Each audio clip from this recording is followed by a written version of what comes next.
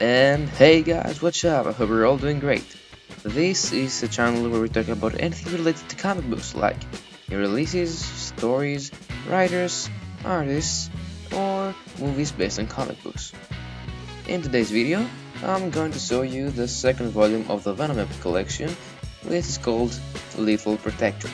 So, with no further ado, let's start. So here I have my copy of Venom Lethal Protector, which is actually the second volume of the Venom Epic Collection. And this is uh, the cover of Web of Spider-Man uh, issue 95, I think, which is also collected here.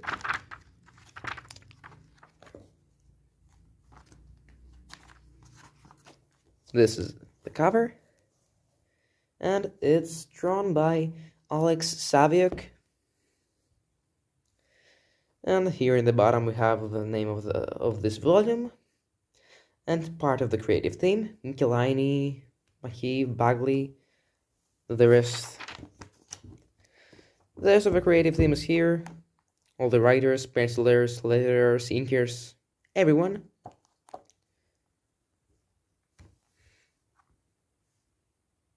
Well, and now let's take a look at the spine. Of course, it has the Marvel Epic Collection logo, the hero's name, and the volume's name. And this is part of the cover. So, and in the, in the back cover, we have an image that is actually the cover of Marvel Marvel Presents uh, issue 118, which is it here.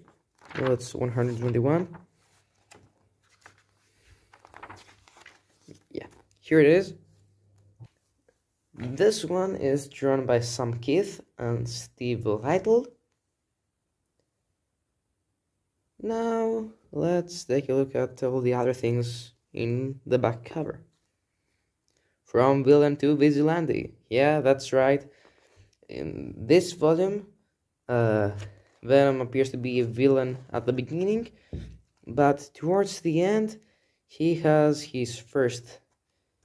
Um, but towards the end, he becomes uh, an anti-hero, and Venom Lethal, Lethal Protector is also collected here which is Venom's first solo series, which was a limited series, but after that uh, followed many, many, many Venom limited series.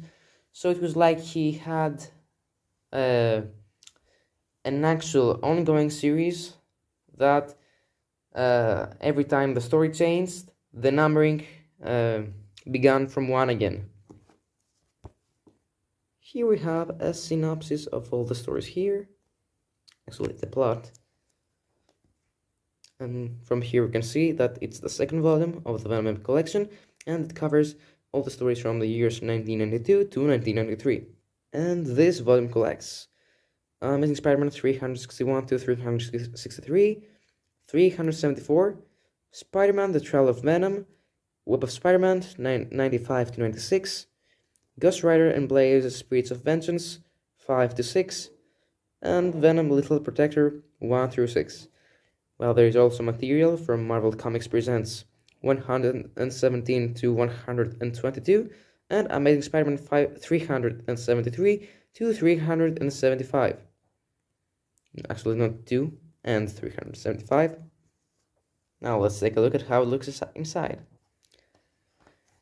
Here we have all the other Epic collections that are that were available uh, when this was released. The list actually continues here. Yeah, I know there are many, many, many Epic collections. We saw the creative team before. This is the table of contents. Here we have our stories, which we will talk about later. So, if we go all the way to the end of this edition, we will find the extras. Yeah, here it is. Here we have some covers, some variant covers. Ah, this this is beautiful. I think everyone has seen this. It's by it's an iconic uh, scene. It's by Mark Bagley.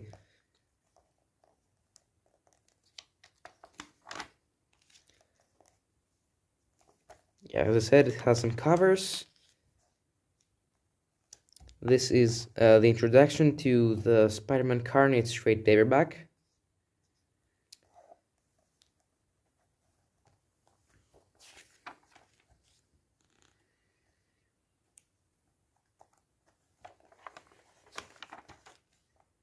Some pinups.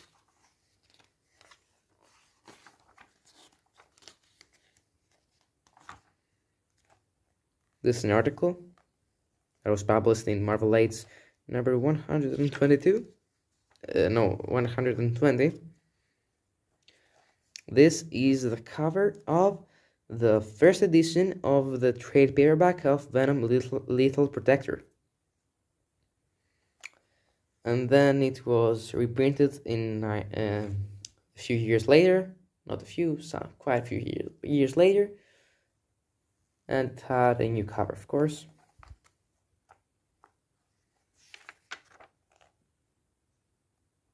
These are some printing variants of the covers. And this these are some um, trading cards that had Venom in them. Some sketches, co more covers, more covers. This this is an iconic one. It's from the first issue of Venom Lethal Protector. Well, this is actually a panel uh, from Amazing Spider-Man 374. It's this one that was recolored so that it can be used as a cover.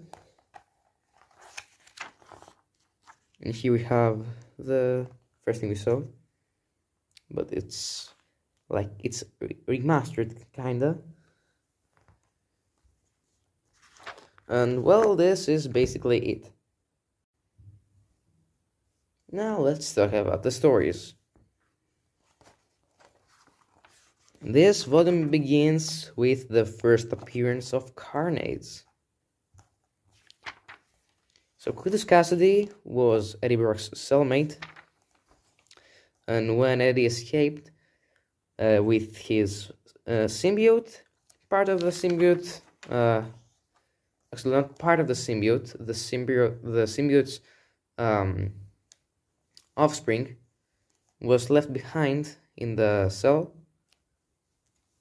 So Cletus Kasady bonded with the symbiote's offspring and became the murderous Carnage. Oh, and for all of you Carnage fans out there, uh, Carnage currently has an ongoing series that has uh, 11 issues so far, so you might want to check it out if you want. Um, and then Spidey realizes that he isn't strong enough to defeat Carnage by himself, so he needs Venom's help. So that don't spoil anything else, I'm gonna I'm going to move forward to the next story. Perfect. In the next story, Spider-Man and Venom team up with Blaze, uh, with Johnny Blaze and Ghost Rider in the story called Spirits of Venom.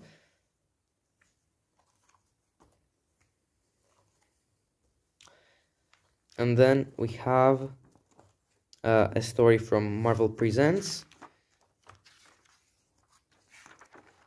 in which uh, Venom teams up with Wolverine. Yeah, I know they don't really seem like they team up. It seems more like a fight, but but I think that you know by now that every great team up starts with a fight between the two characters.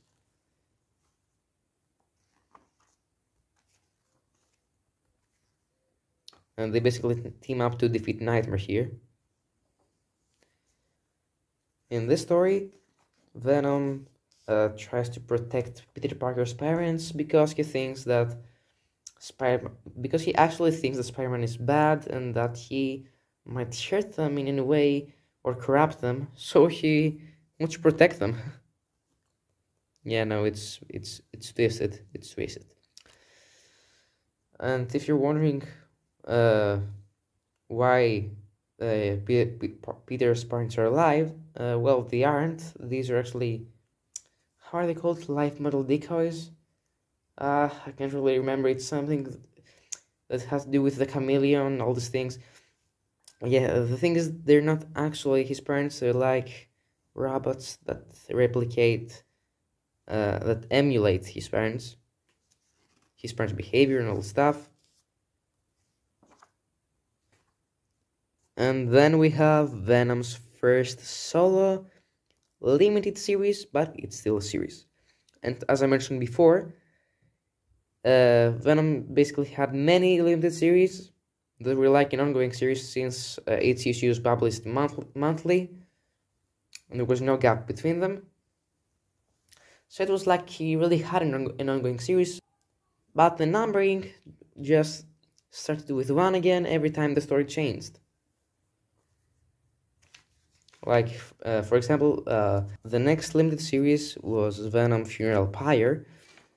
So, if they had kept the same numbering from its limited series to limited series so as to make it an ongoing series, then Venom Funeral Pyre would be Venom number 7.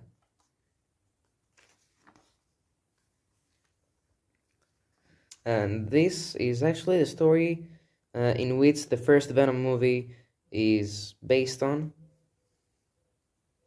You know, it has the Life Foundation, Carlton Drake, and all this stuff. Uh, but fun fact, uh, Riot isn't uh, actually uh, the symbiote of Carlton Drake as it was shown in the movie.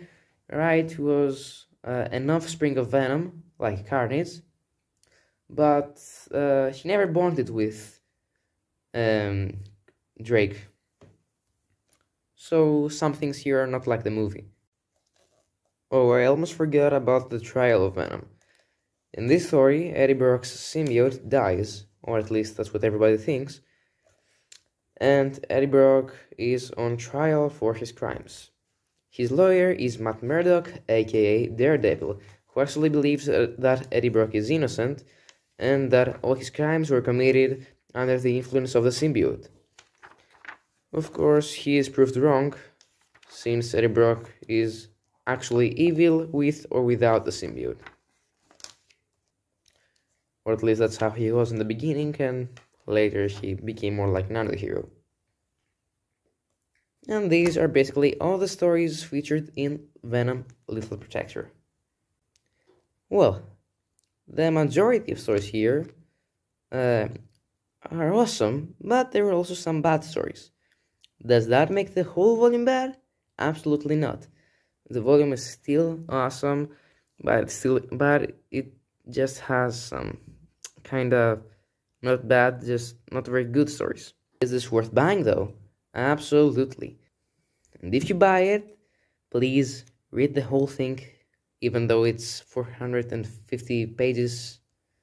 Not it's more than 450 pages, but they are 450 pages full of gold.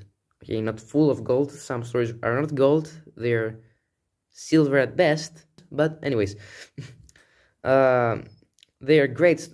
Most of the stories here are great. The art is just amazing. It even has Mark Bagley. I just love Mark, Mark, Mark Bagley's art. Most of the stories are very well written. And they're very enjoyable too. So I think that if you're a Venom fan, you have to give this a read.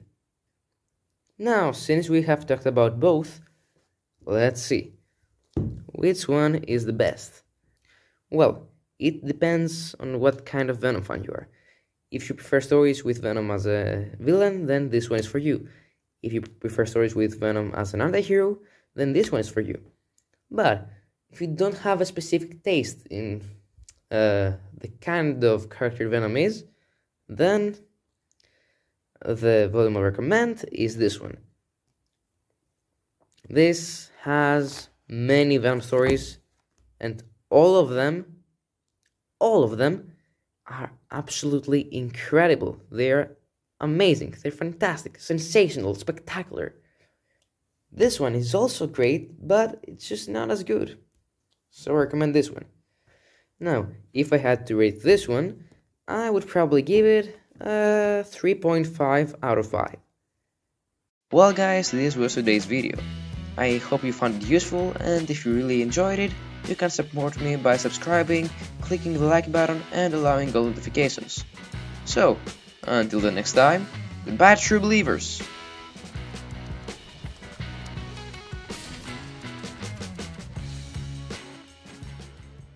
Oh, and for all of you Spider-Man 2099 fans out there, I have pre-ordered the Spider-Man 2099 Omnibus, so as soon as I get my hands on it, I will make a video about it.